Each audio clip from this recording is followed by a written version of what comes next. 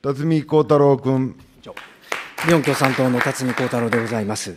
森友問題について聞きます。2016年の3月の15日、地中から新たな埋設物が出てきたとして、籠池氏が財務省理財局国有財産審理室長田村氏とゴミの補償について折衝をしております。その時のテープが出てまいりました。財務省はそこで話されている内容からして、テープは本物であると、まあ、こう認めたわけでございます。その中で田村室長は、この森友の件は特例であるというふうに述べたり、応援する気持ちでやっていると述べております。全くの驚きであります。そこで大臣にお伺いしたいんですが、つまり今回の森友のこの8億2000万円の値引きも含めて、これは財務省が応援の気持ちでやっているからこそ特例になったという、こういうことでよろしいですか？佐川局長。まずあのすいません、冒頭あの、現場での個別のやり取りのお尋ねでございますので、まず私の方からお答えさせていただきます。まずあの3月15日の今、あの委員ご指摘のやり取りにつきましては、あの音声データについておっしゃるとおり確認をいたしました。でまあ、その確認の結果、先方お二人から一方的にお話をされ、まあ、趣旨がわからないことも多い中で、まあ、新たな埋設物の対応についてのやり取り以外については、まあ、詳細は覚えていないということでございまして、今、委員おっしゃいました特例でございますが、えー、特例処理と申しますのは、これ、通達に応じましてですね、あの各財務局からあの個別の事情で特例処理の申請が来た場合に、えー、財務省の理財局で特例処理の承認を行っておりまして、えー、本件においても貸付期間3年のところを、まあ、その更地返還義務が生じる事業用の定期借地とするということが適当と考えておりましたので、まあ、法律上、最短の10年間と定めることで、本省理財局における特例処理の承認を行いました。これがあの室長が申している特例ということでございます。大臣。あの面会における一つ一つの発言について、これ、私は承知しているわけではありません。今、佐川、えー、理財局長の方から答弁をしておりますけど、これにつきまして今、通達の話が一番問題になっているんだと思いますが、これは普通財産貸付事務処理要領いうのがありますのはご存知だと思いますんで、それに基づいて、理財局における特例処理の承認による事務処理がなされている旨を述べたものだというように、私どもも理解しております辰巳幸太郎君。大臣、このあのテープの中にですね、応援する気持ちでやってるんだという田村室長の発言があるわけですよ。まあ、通常ですね、公務員ですから、法令にのっとって、公正中立的な立場で、まあ、先ほどあの特例という中身の話もされましたけれども、まあ、そうするのが、私は公務員の在り方だと思うんですね。応援する気持ちでやってると、だから特例になったと、こういう話なんじゃないんですか、大臣。佐川局長。お答え申し上げます。あの先ほど申しましたように、あの音声データの中身につきましては、非常にその2人でいっぺんにお話をしたりして、本人たちもそのきちんと確認はできていない、もちろん聞いておりますけれども、確認できていない状況でございますので、その個別の先方のご発言について、何かそれをもって特別なことということではなくて、ここで申し上げている特例というのは、大臣からもあの答弁申し上げましたが、特例処理について、彼が特例と言っているということでございますよろしいですか、辰巳幸太郎君。あの財務省は契約が終わった途端に、まあ、資料を廃棄をしたと、こう言っております。でようやく出てきた、これ、森友側との折衝の記録のテープであります。で、詳細については覚えてないと。まあ、こう繰り返すわけですね。私はおかしいと思うんですね。で応援という言葉が出てきております。私はこれ、売り払いが原則が貸し付けになったり、そして大阪の私学審で、えー、この継続審議となったときに、財務局の人間が何度も何度も大阪府に足を運んだと。まあ、こういうことからもですね、そして8.2億円の値引きですね。これはもう異常なくらいの応援だというのはもう明白だと思うんです。そして昨年の4月に、森友の設計事務所、建設会社と金財とのやり取りを示すメールも出てまいりました。で、ここで驚くべきは、溝穂の国小学院開設に向け、ご協力いただきありがとうございますという、まあ、こういう文言であります。財務局は公平中立的な立場で、学校設置に関わる財務のチェックを行い、森友側と対等な契約を結んでいるはずであります。同時に、当時は賃料ですから、これの支払いがきちんと行われているか、これ実際に遅れていたわけですね。この契約の履行などについて、厳しくチェックをしていく立場であります。えー、重ねて大臣にお伺いしますが、これ学校認可する側の財務省がですよ、ご協力ありがとうございますというのは、私は違和感あると思うんですけど、いかがですか？佐川局長。お答え申し上げます。あの委員のご質問、またこれもあの現場でのですねそういう先方とうちの職員とのやり取りのお話でございまして、あの大臣というよりも私どもの方からお答えをさせていただきます。えー、この2枚のそのメールのやり取りにつきましても、えー、これもあの本人に、聞きてございます。で本人によりますとですね、えー、この文面、まあ、1年以上も前の文章で、これそのものはあの本人のところにも残っておりませんので、詳細には覚えてありませんけれども、あの依頼にあたってのその文面の詳細までの記憶はないけれども、新たな埋設物への早急な対応を求める森友側の関係者に対し、まあ、大阪航空局で撤去費用の見積もりの参考となるさまざまな資料を提出するよう、あのこちらから依頼をするというものでありますので、まあ、丁寧に挨拶をしようとしたものではなかったのかと考えられるというふうに申しておりました。辰巳幸太郎君。まあ、この文言もですね、私は無理ないと思いますよ。だって、名前、住所を書き、印鑑を押せば完成する、模範回答のような契約書関連書類を作成し、契約前に渡していたことなど、まさに森友側と一体になって、建設主体として、かのように動いてきたのが財務省であるからであります。今日はですね、えーえー、先日報道もされております通り、この土地価格の評価を不動産鑑定士に頼んだ際に、高層建築を想定し、えー、地盤改良費5億円を考慮するように求めた、まあ、この件について、えー引きつえー、聞いていきたいというふうに思います。これは報道によりますと、まあ、具体的には深さ30メートルから40メートルまでの、まあ、杭を打つことを前提にその工事費等を算出したものだということで、えー、あります。一方でですね、え佐川理財局長は、えこの間の国会答弁でも、まあこれはもともと考慮されるとは考えてなかったんだけれども、まあ資料一式を官邸市に提出したと、まあこういう答弁をされていますけれども、まあこれで間違いないですか？佐川局長。あの別の委員会でご答弁もしてございますけれども、えー、報道はもちろん承知してございますし、ただ報道についてのいちいちのコメントもいたしませんが、えー、まあ本件あの、財務局から大阪航空局に撤去費用の見積もりを依頼したところでございまして、まあ、この先生ご承知のとおり、貸付の時に軟弱な地盤が当然、えー、認識されていたわけでございます。従いまして、まあ、売却時におきましても同様に、まあ、地盤の状況に関する資料の提出を依頼したところでございますが、まあ、大阪航空局より、その見積もった撤去費用の見積もりが提出されるとともに、地盤の状況に関しても、業者から入手したそのボーリング調査の結果などの資料の提出を受けまして、これをまあ不動産鑑定士に提示して、私ども評価を依頼したところでございます。まあ、地盤の状況に関する業者の資料としては、そのボーリング調査の結果とともに、今、委員がご指摘のですね、学園側が高層建築を行う場合の空打ちに関する資料もま含まれていたところでございますが、私どもあの森友より申請を受けておきました利用計画におきましては、小学校の校舎3階建てとなっておりますし、現実に今、3階建ての校舎が建っているわけでございますが、その時点におきましても、この3階建てを前提とした9.9メートルの空域工事がまさに行われていたことでございますので、まあ、高層建築を前提として計算された工事費用というものは、まあ、今、現に建築しようとしている建物と関係ないということ、これ明らかでありましたので、これが考慮されることはないと考えておりました。また、不動産鑑定における地盤の評価につきましては、まあ、その土地の購入者がまどういう工事をするということとは、ま、直接関係もございませんので、私ども近畿財務局としましては、地盤に関する資料の中に、ボーリング調査が含まれていることをもちまして、まあ、大阪航空局から提出された資料全体を、そのまま不動産鑑定士に提出したということでございます辰巳幸太郎君。ですから、考慮されると、考慮されないということが分かっていながら、なぜ鑑定士に提出をしたのかということなんですけど、簡潔にどうですか？佐川局長。あの今申し上げたところでございますけれども、あの私ども大阪航空局にまず依頼をするわけですね。大阪航空局の方は、埋設物の撤去費用を積算をします。それから業者からもらった地盤に関する資料も持ちました。それをまとめて、私ども近畿財務局に提出するわけでございますが、まあ、今あの、委員もおっしゃいましたように、まさにこの3階建てを前提なんで、高層建築のところはまあ考慮されることはないんでございますが、近畿財務局から大阪航空局にその依頼を今しているところでございますので、先方から提出された資料について、この近畿財務局の段階において取捨選択するということはしないで、受け取ったものをそのまま不動産鑑定士に提出だということでございます。辰巳幸太郎君。鑑定士にはそれも含めて考慮するようにということをお願いしたということですね。佐川局長。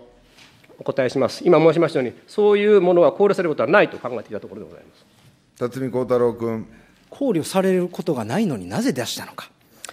えー、私はですね、えー、財務省がこの不動産鑑定士に提出を、まあ、鑑定の依頼をした際の使用書ですね、鑑定評価依頼条件と言いますけれども、これを独自に入手をいたしました。ここにはですね、平成28年4月14日付、反空砲第17号、えー、不動産鑑定評価についてに基づく内容、括弧して、地下埋設物撤去概算額について、そして軟弱地盤について考慮し、鑑定評価することと、そういう使用書になっているわけであります。この中に、この森,、えー、森友側が提出したこの高層建築物を建てた際の工事費というのが含まれているということじゃないですか。佐川局長。えーと、その今、委員がその入手したと言われているその依頼書については、えー、まだ正式にあのお出しできる状況になってないということでございますけれども、えー、今、あの委員がおっしゃったその地盤の状況は、冒頭申し上げましたが、私どもあの貸付の時にですね、森友学園側からボーリング調査を受け取っているわけでございまして、そこがその27年5月に締結をしました貸付契約においても、その結果を踏まえて賃料を算定し、反映されていたところでございます。従いまして、売却時も同様でございまして、私どもはその地盤の状況に関する資料の提出を大阪航空局に依頼をしたところ、その出てきた業者の資料の中に、その27年5月に使ったその森友がやったボーリング調査も入っているわけでございますから、当然それを鑑定士に提出して、地盤の条件については考慮してくださいという、これ、普通のことでございます辰巳幸太郎君。私の質問に答えていただきたい。高層建築のための地盤改良費も、この考慮してくださいという中に含まれていますね。佐川局長。えー、先ほどから何べん申しますように、その高層建築の資料、食い打ちの工事の費用につきましては、もともともう9.9メートル、3階建てを前提に杭を打った状況の後で、そういう資料については考慮されることはないというふうに考えておりました辰巳幸太郎君。私の質問に答えていただきたい。この使用書の中にある、考慮し、鑑定評価すること、この中に、森友側が提出してきた、えー、8階建てですか、高層建築を前提とした、これの見積もり、これも考慮することということが含まれているか含まれてないかです。佐川局長。あの先ほどもご答弁しましたが、私ども大阪航空局から提出いただいた資料をそのまま関係者に提出しているということでございまして、その中に私どもは、ボーリング調査の結果については考慮していただくというのは、貸付と同様だというふうに先ほどから答弁しているところでございます辰巳幸太郎君。いや、これは含まれてないということですか、考慮することに。佐川局長。私どもは、あその深いところの工事費については考慮されることはないと思ってました。辰巳幸太郎君。この使用書では、考慮される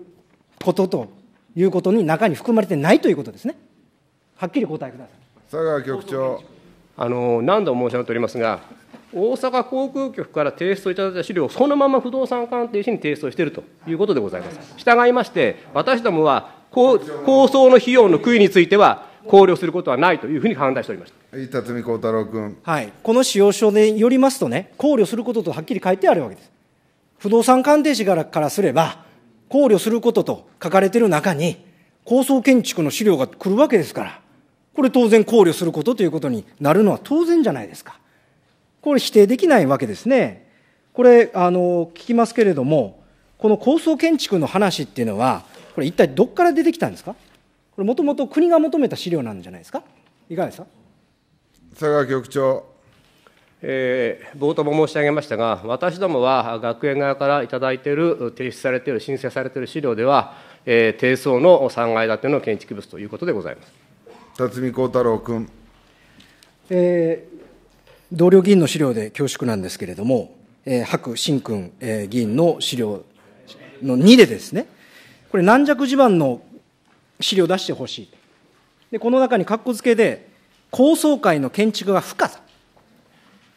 つまり軟弱地盤だから高層階の高層の建築はなかなか難しいと、そのために保証してくれよという、そういう資料をこれ、求めてるわけですね。そしてこの前段にですね、じゃあ、なぜ高層階を建てようとしているのか、こういうやり取りが森友側と財務省の間で、これやられてるんじゃないですか？これ結局、森友側から、これ将来中学校を建てて8階建てにしたいと。こういう要請があったことが積算の根拠になってんじゃないですか、いかがですか？佐川局長。えー、委員のご指摘の趣旨、よく分かりませんが、私どもは申請において、えー、3階建ての建物を建てるという申請を受けているというふうに申しております辰巳幸太郎君。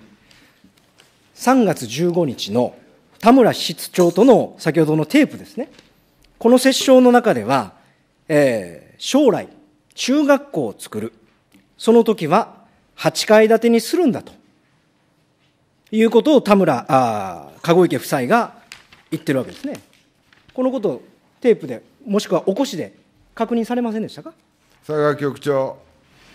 あのこの先方の方がです、ね、どういう場でこの何をおっしゃるかというのは、あの私ども、別にコメントもいたしませんが、私どもはきちんと役所としてです、ね、近畿財務局として、えー、国有財産の管理、処分をする身として、処分の相手からですねきちんと正式な書類を取って、それに基づいて行政を行うわけでございまして、そういう中では、きちんと3階建ての建物という申請を受けていると、こういうことでございます辰巳幸太郎君。ですから、建ててるのは3階建てですから、それを将来8階建てにするとか、そんな話はですね、財務省としては、一周しなきゃなんないんですよ。